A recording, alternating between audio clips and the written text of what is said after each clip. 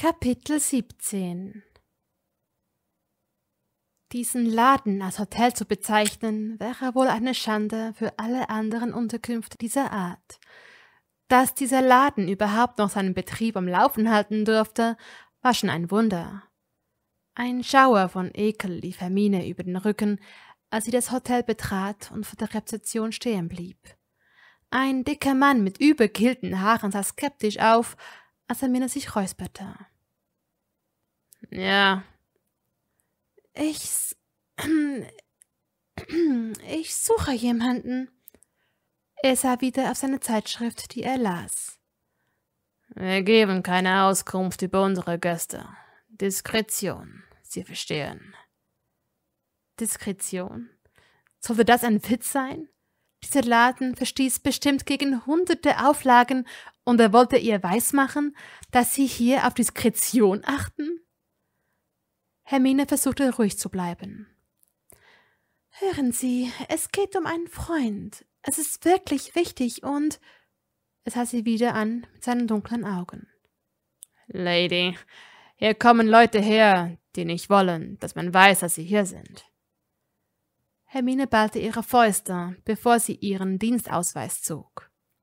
Sie hielt den Ausweis vor seine knubbelige Nase. Entweder sagen Sie mir jetzt sofort, ob er hier ist oder nicht, oder ich werde dafür sorgen, dass innerhalb von zwei Stunden der Laden geschlossen ist. Er sagte nichts. Ich suche einen jungen Mann. Sein Name ist Draco Malfoy. Hier checkt niemand mit seinem richtigen Namen ein, antwortete er. Sie seufzte. Er ist groß und blond. Graue Augen? fragte er nach, und Hermine nickte stumm. Zimmer 19, erster Stock, murrte der Mann. Danke. Sie ging unruhig den Gang im ersten Stock entlang. Der Teppich, der hier ausgelegt war, war alt und zerschlissen. Sie blieb vor einer Tür stehen mit abgeblätterten Farbe und einer schiefen Zimmertürnummer. Sie klopfte. Keine Antwort. Sie klopfte erneut. Draco? Sie bewegte die Türklinke und stellte fest, dass die Tür nicht verschlossen war. Die Zimmer hier sahen nicht gerade besser aus. Die Tapeten sahen vergilbt aus, die Möbel abgenützt. Draco? fragte sie nochmal deutlich und zog die verstaubten Vorhänge auf. Die Sonne ging draußen bereits unter. Sie wollte hier nicht sein, wenn es dunkel war. Sie sah sich um. Klamotten lagen verstreut rum, aber vor allem leere Alkoholflaschen. Um Himmels willen, was tat er hier? Sich sein Verstand wegsaufen?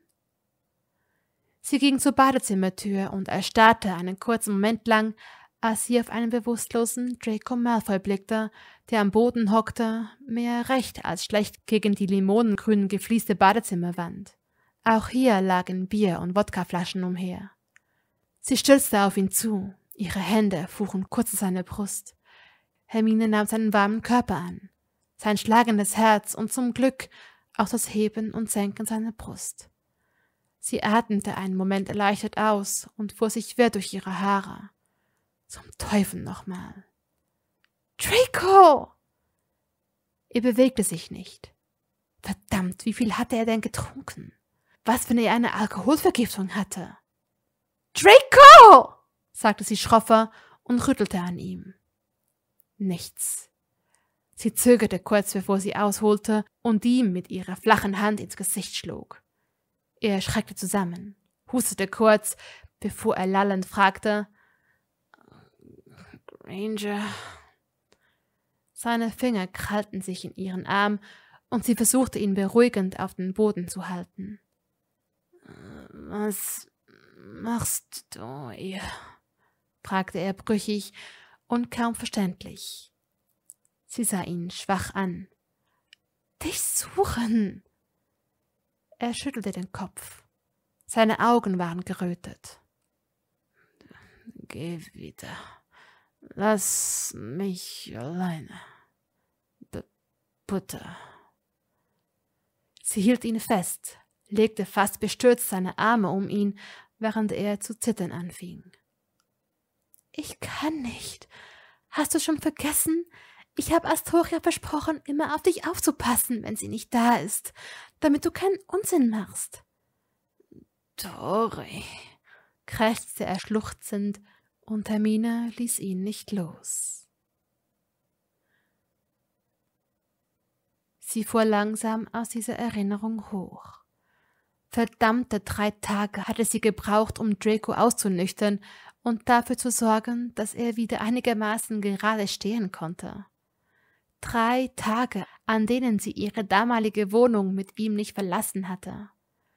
Drei Tage, an denen sie jede Minute darauf aufpassen musste, dass er nicht einfach verschwand und wieder Alkohol trank. Sie hatte ihm geholfen, war ihm beigestanden, nicht nur wegen Astoria, die ihr schmerzhafterweise mal das Versprechen abgenommen hatte, auf Draco aufzupassen. Damals bezog sich das alles nur auf die Arbeit. Hermine sollte als eine Kollegin auf ihn aufpassen. Aber sie tat es auch, weil Draco ihr ein guter Freund gewesen war, trotz seiner Art. Er war eben ein Malfoy. Nein, er war eben Draco Malfoy. Hermine zupfte ungeduldig an ihrer Bluse umher. Blaze Stimme war leise, aber bestimmend. Hör auf, so zu zappeln. Ich bin nervös, antwortete sie und sah Blaze an. Er nahm kurz ihre Hand in seine und drückte diese leicht. Dafür gibt es keinen Grund. Bitte hör auf zu zappeln. Sie nickte stumm und Blaze ließ ihre Hand wieder los. Denkst du, wir kriegen ihn wieder raus? Blaze schnaubte verächtlich. Die lassen ihn sofort gehen, wenn sie keine Klage am Hals haben wollen. Es gibt keine Beweise dafür, dass Draco dieser Verrückte ist, und Weasley wird gleich platzen, wenn er die Alibis sieht. Hermine atmete gerade noch tief ein und aus, bevor sich die Aufzugstüren öffneten. Einige Ministeriumsmitarbeiter sahen ihn verwundert an, als sie den Flur entlang schritten. Atme, forderte Blaze leise, und Hermine schluckte hart. Mir gefällt der Gedanke nicht, hier zu sein. Kann ich mir vorstellen. Draco sollte auch nicht hier sein. Es ist unverantwortlich und gefährlich, presste sie schwer hervor. Potter wird schon auf ihn aufpassen. Hermine sah ihn von der Seite her an. Blaze, egal wer dieser Irre ist, ich bin mir sicher, dass er hier im Ministerium arbeitet. Ja, das tut er auch, antwortete Blaze. Und ich glaube es auch. Aber wieso lenkt er den Verdacht auf Draco? Weil ihr beide ihm auf der Spur seid. Ihr habt ihn aufgescheucht. Äh, oder sie. Hermine blieb stehen. Sie? Blaze zog sie weiter und sang seine Stimme. Ja, sie. Ihr wisst doch nicht, wer es ist. Es könnte auch eine Frau sein. Oder nicht? Hermine dachte darüber nach und schüttelte leicht den Kopf. Nein, nein, es kann keine Frau gewesen sein. Es war ein Mann. Irgendwelche Verdächtigen? Hermine zuckte leicht die Schultern. Ich habe keine Ahnung. Ich habe so oft darüber nachgedacht. Jede einzelne Person bin ich durchgegangen. So wie Draco. Er hat ganze Listen mit möglichen Tätern angelegt, warf Blaze ein, und Hermine fragte nicht weiter, weil sie die Abteilung der Auroren betraten. Hermine sah einen Auroren vor dem Verhörraum stehen. Ist er da drin? fuhr Hermine den Mann an und bevor dieser die junge Hexe oder ihren Begleiter aufhalten konnte, hatte sie den Raum schon betreten. Rons Stimme war laut. Was soll es werden? Draco lehnte sich auf seinem Stuhl zurück. Zum Glück. Noch eine Stunde von Weasleys blödes Gequatsche und ihr könnt mich in St. Mungo auf direktem Wege in die geschlossene Abteilung. Halt dein Maul, Malfoy! fauchte Ron. Rede nicht so mit ihm, schimpfte Hermine. Leute, bitte, mischte sich Blaze ruhig ein. Wir sind alle erwachsen, oder? Ron stand ärgerlich auf. Was, was wollt ihr hier? Das ist ein Verhör. Blaze zog aus seiner Tasche einige Blätter. Wenn wir schon dabei sind, mein Mandant wird nichts sagen. Dazu rate ich ihm. Ron schnappte nach Luft. Du?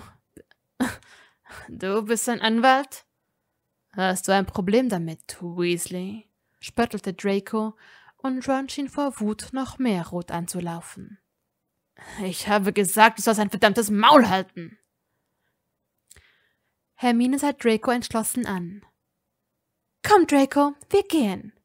Hermine, fing Ron an, und die Angesprochene blieb dicht vor ihm stehen, mit erhobenem drohendem Finger.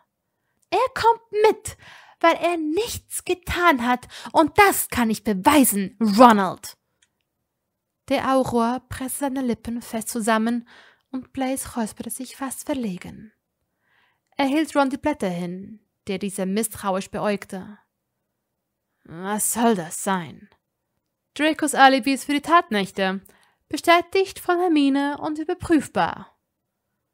Ron zog sie ihm energisch aus den Fingern und begann damit, sie zu überfliegen, während, während Hermine Draco auffordernd ansah. Komm, wir gehen. Kann ich einfach gehen? widersprach Ron und sah von den Blättern auf. Sein Gegenüber blickte ihn aus eiskalten Augen an. Er wird mit mir mitkommen. Alles, was du noch klären musst, kannst du mit seinem Anwalt regeln, also mit Blaze. Komm, wiederholte Hermine erneut und nahm Draco bei der Hand. Sie betraten den Gang und ihre Augen fielen auf Harry. Sie war wütend und diese Wut ließ sie jetzt an ihm raus. Wie konntest du zulassen, dass sie Draco verhaften, dass sie ihn abführen wie einen Schwerbebrecher und dass Ronald sich wie ein Hornochse aufführt? Was soll dieser Unsinn? Hermine, versuchte es Draco, doch sie redete ärgerlich weiter. Wir wissen beide, dass er es nicht war. Wieso sollte er auch? Er hat nicht Delia Fortschritt ermordet. Er hat herausgefunden, dass dieser Irre sie immer bestellt hat. Sie war eine wichtige Zeugin für uns. Und statt endlich rauszufinden, wer dieser Scheißkerl ist, Hermine. verhaftest du Draco. Es war nicht meine Entscheidung, kam Harry endlich zu Wort, als sie nach Luft schnappte. Äh, was sind dann? Es war wegen der Beweise, Hermine. Wir waren dagegen. Cormac und ich haben stundenlang versucht, diesen bizarren Unsinn aufzuhalten. Hier drehen allesamt langsam durch. Versteht ihr das? Hermine schnaubte. Du hättest etwas tun müssen. Du hättest ihm helfen müssen. Hermine, lass es, meinte Draco, und sie funkelte ihn kurz an. Nein, ich lass es nicht, Draco. Ich vertraue ihm, Hermine, und das weißt du. Ich vertraue ihm unter wenigen, erklärte Harry und seufzte. Er muss noch hier in England bleiben, bis alles geklärt ist. Noch? fragte sie verwirrt. Draco und Harry sahen sich an. Seine Stimme war ruhig. Wir müssen hier weg, Granger. Sie sahen ruhig an. Er ist hinter dir her, Hermine. So viel steht fest. Also vertrau mir und lass mich dich aus England bringen. Ihr Herz schlug schnell, und sie verstand Harrys Worte kaum. Er hat recht, Hermine.